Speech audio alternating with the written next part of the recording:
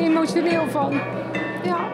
Het is echt een onroerend eh, verhaal dat we net uh, gehoord ook. Het is wel uh, een mooie dag voor mij, helaas. Mijn man die heeft dat niet kunnen meemaken. Zoveel herinneringen, heel mooie herinneringen. Emotionele herinneringen bij de presentatie van het boek Samen op Beekvliet. Over Javaanse Surinamers die in 1975 naar Nederland kwamen. In de archieven is alleen de correspondentie tussen de overheden te zien. Maar de mensen zelf komen niet aan het woord merkte schrijfster Sabine Tichelhoven. Het is wel heel bijzonder dat eigenlijk nog helemaal niks over geschreven was over dit hele onderwerp. En ik denk dat ook bij heel veel bewoners van Gestel uh, het helemaal niet bekend is, die geschiedenis.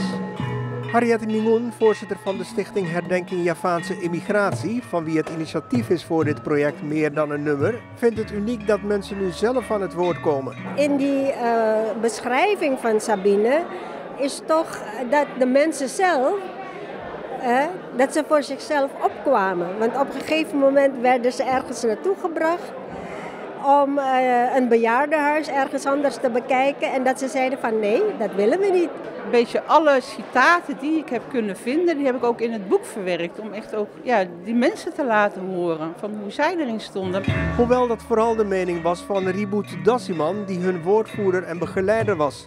Samen met Paul Salam Somoharjo hadden de beide politieke roergangers in Suriname Javanen in 1975 overgehaald om in angst voor Creoolse overheersing, zoals dat genoemd werd, na de onafhankelijkheid dat jaar, naar Nederland te vluchten. Maar wilden Javanen naar Nederland en de opvang in Beekvliet?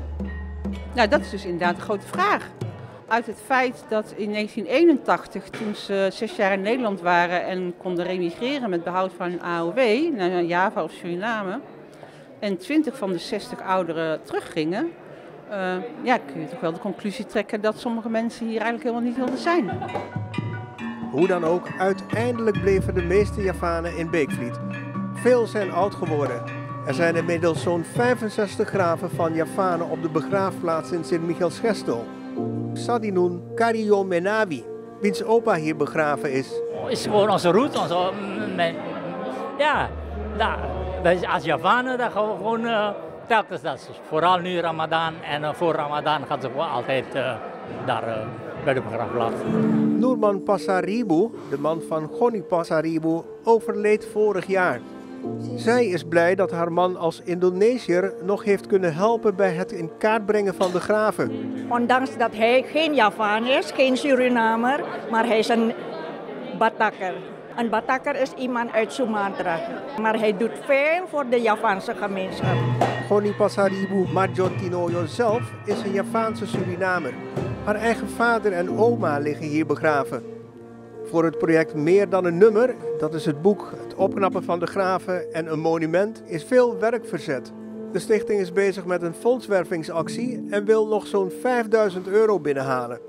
Voor Listi Groenland Passaribu, de dochter van Goni en Noorman Passaribu, is het Javaans-Surinaams erfgoed ook belangrijk.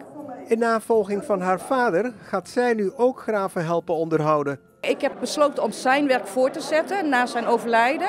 Moest er iets gebeuren, van, dan wil ik het wel op mij nemen om het, uh, om het voor te zetten. De gemeente Sint-Michiels-Gestel, het dorp waar de Javanen uit Suriname warm werden ontvangen, helpt een handje mee met het behoud van de graven voor onbeperkte tijd. Wethouder Lianne van der A hierover. Er zijn ongeveer 65 eh, graven waarvan er een stuk of twintig geen nabestaanden meer hebben. We hebben met de, de stichting Stici afgesproken dat zij de, de belanghebbende of de rechthebbende worden van deze graven. En we hebben een hele nette afspraak met ze gemaakt dat de graven voor de toekomst behouden kunnen blijven. Er staat nog veel op het programma dit jaar. Zo wordt er dus nog een monument onthuld. Harriet Mingoen heeft tot slot van deze publieksdag een goed gevoel over het project Meer dan een nummer. Ik heb geprobeerd om die cirkel voor de Javaanse contractarbeiders rond te maken. Door uh, de plek waar ze begraven zijn uh, in ere te herstellen boek, monument en begraafplaats, ze zijn betekenisvol voor velen. Ik vind het wel uh, belangrijk dat ze nu, mevrouw Harriet heeft allemaal gedaan en de stichting. Ze mogen niet vergeten worden. Een stukje cultuur, een stukje geschiedenis en dat moet gewoon bewaard blijven. Want ze hebben hard gewerkt in Suriname. De, de vooruitgang van Nederland ook uh, hebben ze geholpen. Het zit in mijn hart.